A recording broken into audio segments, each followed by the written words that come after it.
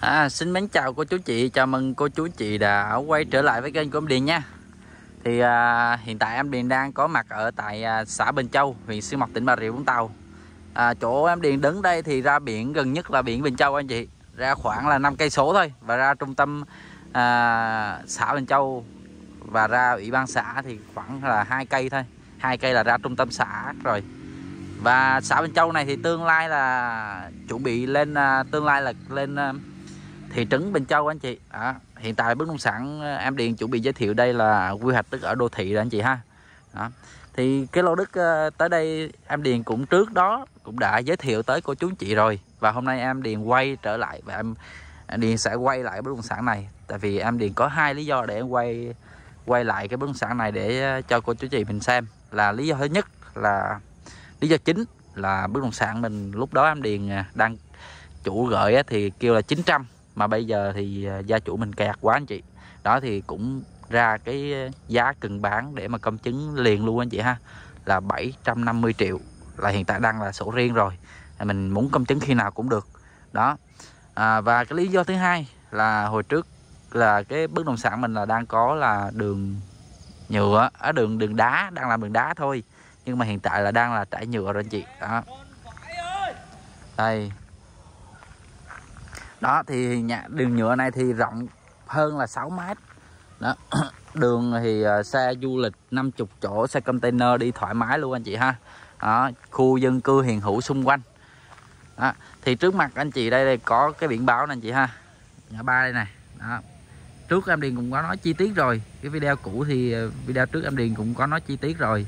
Thì uh, đường đây đó thì bây giờ em điền sẽ giới thiệu lại sẽ nói lại ha đó cái, cái biển báo ngã ba ha mình à, gặp ngã ba đó mình đi thẳng ra luôn. Là đi thẳng ra luôn là à, đi ra quốc lộ 55 ha. Khoảng là đâu đó là một cây số thôi ra quốc lộ 55 rồi. Đó thì bất động sản em điền muốn giới thiệu đây ha. 5 mét mặt tiền đường này sâu vào là 32 đó mặt tiền 5 mét và sâu 5 mét à, hậu 5 mét sau 32 hiện tại thì à, chưa có thổ cư nhưng mà quy hoạch đất ở đô thị anh chị ha sổ riêng rồi đó. Rồi à, cô chú chị nào mà muốn xem chi tiết lại bất động sản này thì em đi sẽ để link phía dưới. Đó. đây thì uh, xã Bình Châu thì cô chú chị cũng đã biết rồi. À, du lịch biển. À, Novaland Bình Châu này và suối nước nóng Bình Châu này.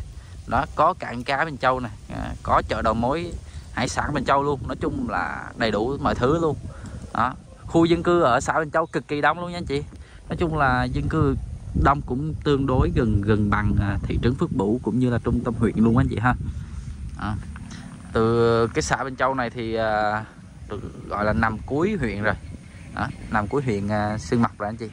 À, à, từ Sài Gòn mà cô chú chị di chuyển về đây thì mất khoảng đâu đó là hai tiếng rưỡi đồng hồ đi à, cao tốc thôi ha. À, di chuyển về cũng rất là gần. Đó cái mảnh đất có 750 triệu thôi. Đó. mình mua mình để đó rồi mình có thể làm một cái căn nhà nhỏ nhỏ để có chỗ lui tới cuối tuần. À, mình đi du lịch. Đó. mình làm căn nhà nhỏ căn nhà nhỏ nhỏ thôi ha. bảy trăm rưỡi triệu cho tổng bất động sản này. Rồi có chú chị nào mà quan tâm đến bất động sản này thì hãy liên hệ với em Điền nha. Em Điền sẽ dẫn cô chú anh chị xem thực tế bất động sản này và gặp chủ ha, để đàm phán thêm. Rồi xin chào và hẹn gặp lại của chú những à, clip sau.